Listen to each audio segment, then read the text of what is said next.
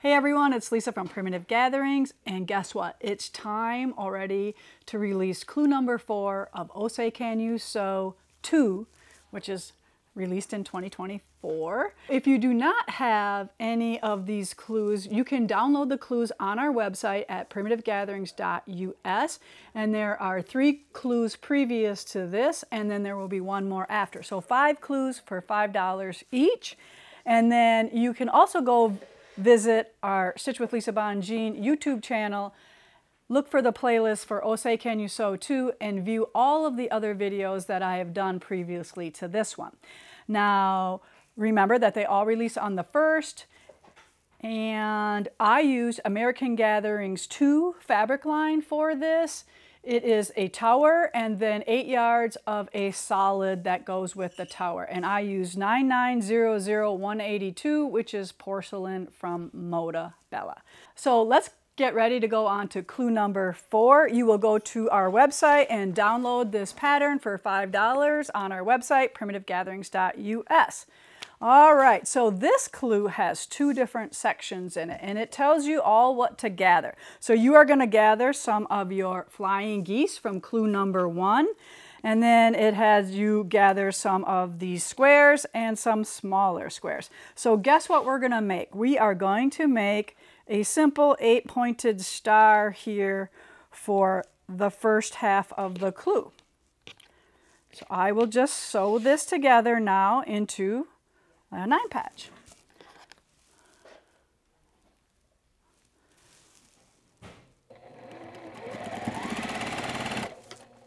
Now, some of the things that we may not have talked about previously is make sure that you start your fabrics. I use a single hole throat plate in my machine, especially with these smaller pieces so they don't get sucked down into that hole. I love to use Aurifil thread. It's my favorite.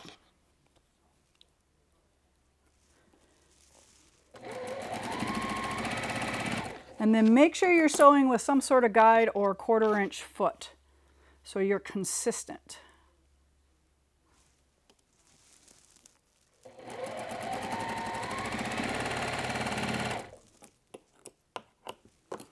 I like to piece everything and then go to the iron when I have everything sewn and I can't stitch anymore. Then I go to my iron. All right, so I'm gonna make this easy. I'm gonna press these toward that center square and then I'm gonna press these away from the center so they will nest nice. All right, so these are going away.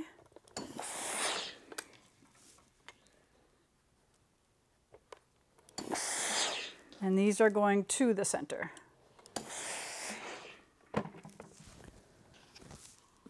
We're getting down there. Things are going to start to look familiar now. Like you might be able to solve the clues and the mystery of the whole thing. But I don't think you will. Still lots of parts to go. All right, two quick little pins in there, nesting those seams.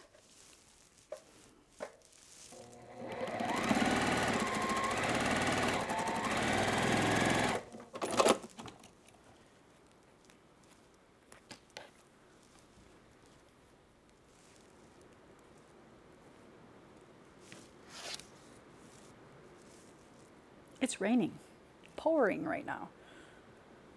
And we can hear that on the roof. Can, I hope you can hear it because good time for a nap now.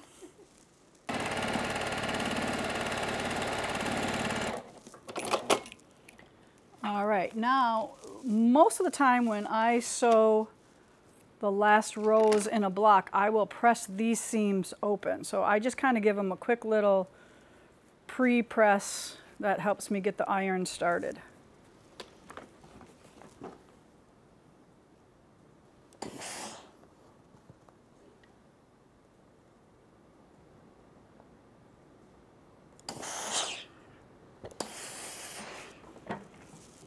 All right, so the first part of clue number four is done. We have two parts, but you see how I have a little bit of those threads hanging out. I like to trim those off. All right, so this should measure four and a half at this point. Looks good.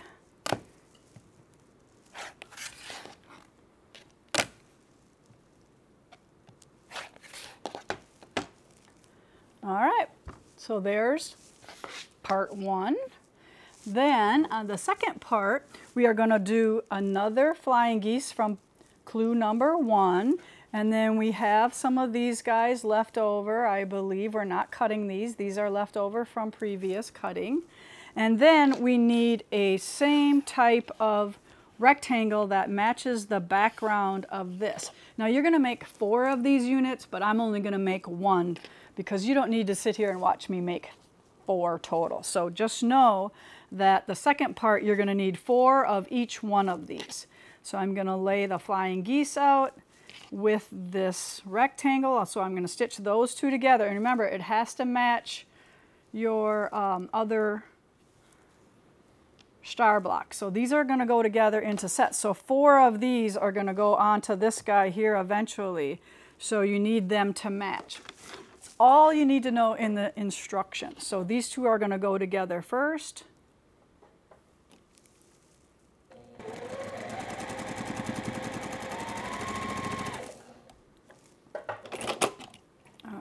Pop this seam open.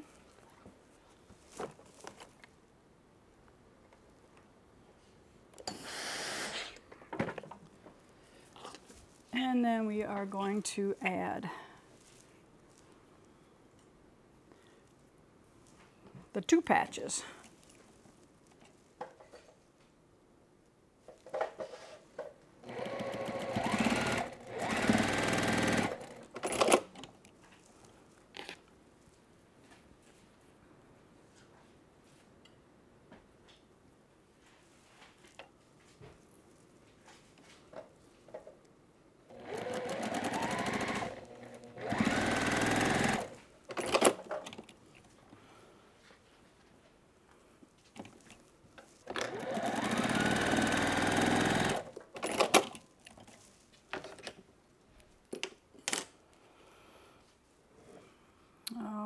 So just because I pressed a bunch of them open, I'm going to continue to press open.